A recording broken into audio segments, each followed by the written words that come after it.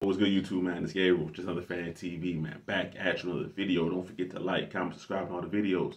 Let's get into today's topic, man. Look, so the Ravens have, you know, officially ended voluntary OTAs, and all of that is done with. OTAs done with in general. Now we head into the mandatory mini camp portion of the offseason schedule. So the Ravens will be holding mandatory mini camp from the 13th to the 15th, right? So this upcoming Tuesday, we're gonna have all the Ravens in the building for the first time um, this entire summer so far. So what does that mean? That means guys like Odell Beckham Jr.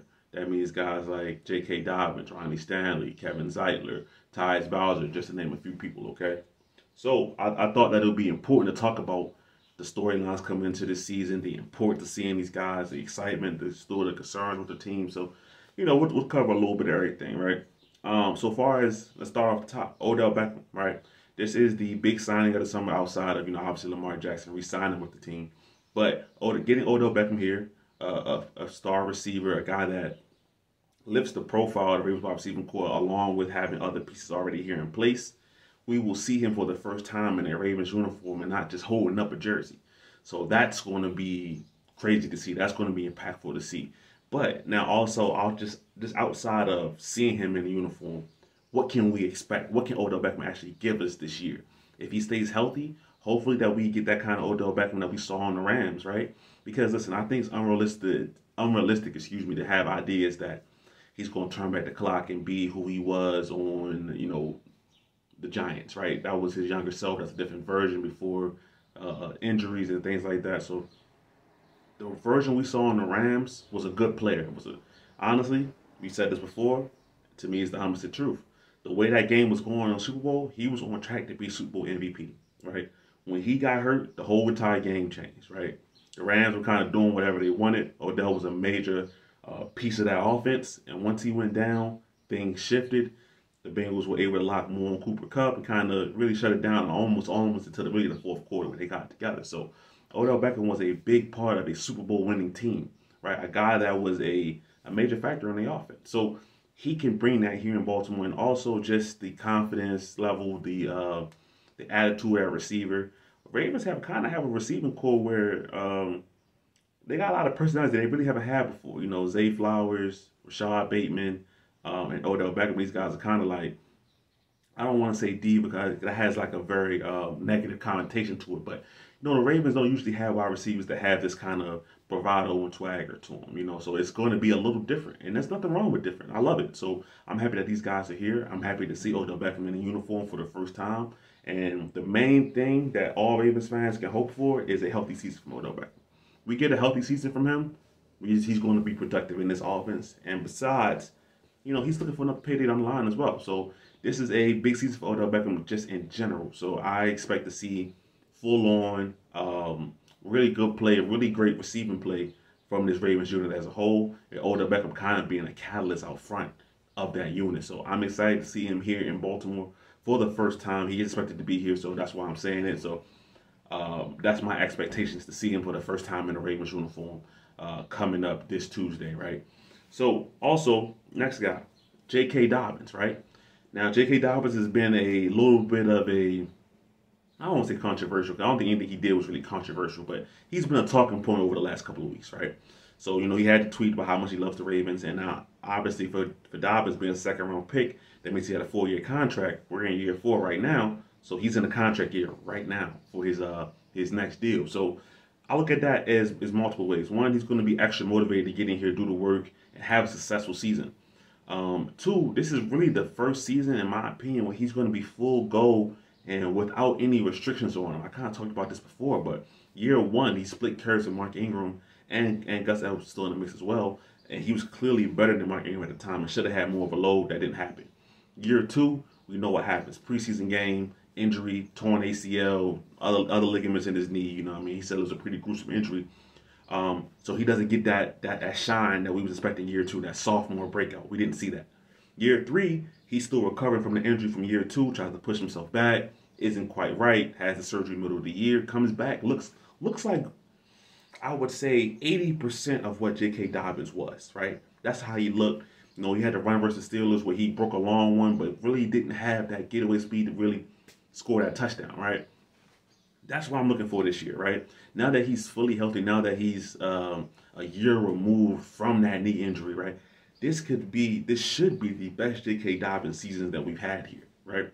So for me, does he have that burst? Does he have that getaway speed? I remember his rookie year. I think it was the, it was the Bengals, inside zone, boom, right up right up the left sideline, outran the entire Bengals defense. Okay, so does he can he get back to that? Does that burst explosive speed to finish off a long run? Is that still there? That's what I'm looking for with J.K. Dobbins. Also, um, John Harbaugh had some interesting comments about J.K. Dobbins. Right? It was it was kind of non-committal, honestly. You know, he was saying that. I mean, it's the truth, right? It wasn't like it was anything um, out of far left field, but it was the truth. He said, "Listen, I don't know what the future holds. If you can know what the future holds, you tell me what's going to happen, right?" Um, and he's right. Nobody really knows what's going to happen in the future uh, as far as J.K. Dobbins being here for the Ravens, but we know for this season he's going to be a Raven, right? I know there was talk of Dalvin Cook. I'm gonna be very quite honest with you.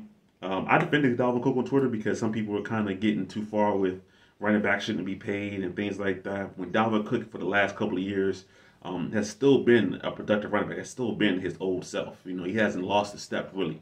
Um, but as far as the Ravens go, spending more resources at running back is just nothing that they need to do. All right. Dalvin Cook is a great player. Um, he's only, I believe, 27, 28 years old, so he hasn't hit that, you know, running back 30, 30 wall that, you know, we all get so warned about and worried about. He hasn't hit that. But give J.K. a shot to run the backfield. Give Gus Edwards a shot to run the backfield. Justice Hill is still here. You got enough running backs. I know some Ravens fans are looking at Dalvin Cook. I'm fine. I'm I'm cool. You know, he if he's going to go to Miami, if he's going to go to, I think the Jets were interested as well.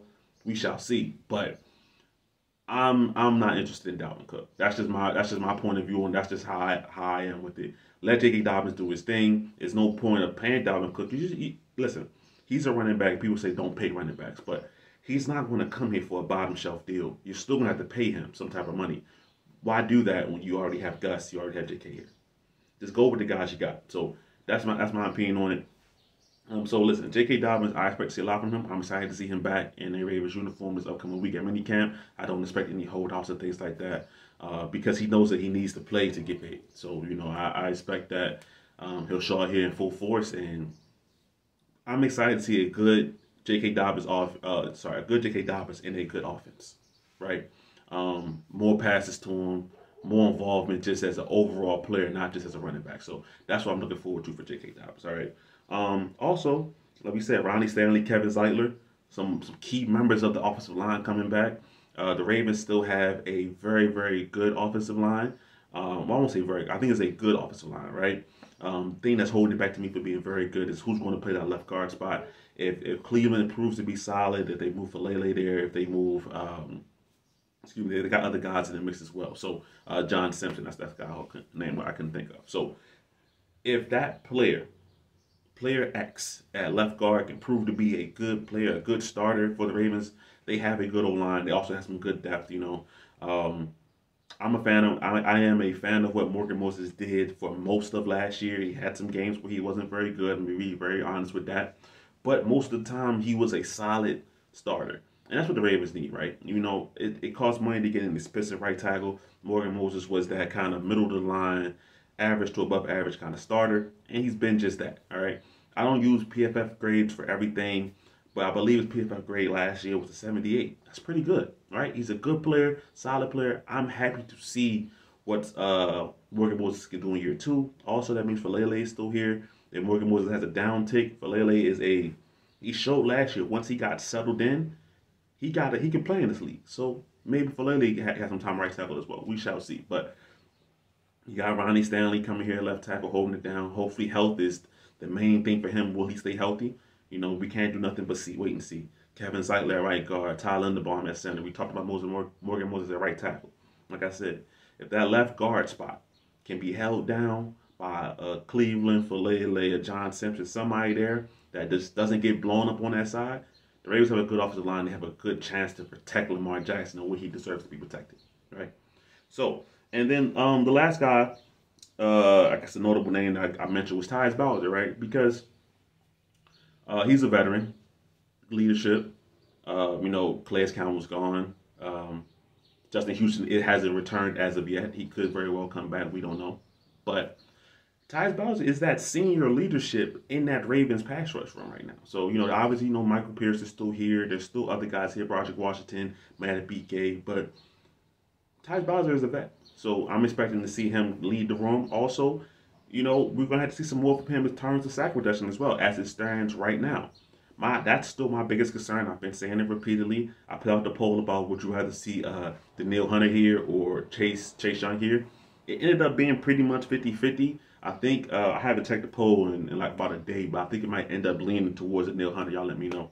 But uh, the Ravens probably do still do need help with that pass rush unit. Um, but I am excited to see Tyus Bowser back. He's one of the best uh, coverage outside linebackers in the league. Um, also, he's just a stabilizer force. He's the one of those guys that just does his job well every single time. So listen, man, the Ravens are back in the building. Mandatory minicamp is coming up. I'm excited to see all the Ravens in uniform uh, for the first time this summer. Some big names like Odell Beckham being here, J.K. Dobbins being here. It's going to be good to see those guys in action. It's going to be good to see those guys, um, you know, playing for the Ravens, man. And as we ramp up, I'll have more videos coming out probably on a more consistent basis. Because right now it's a little bit of a dead period. Um, but uh, if you like the content of this video, man, consider hitting the subscribe button. I enjoy doing these videos, man. I'm gonna get out of here. It's Gabriel. This is on Fan TV. I'm out.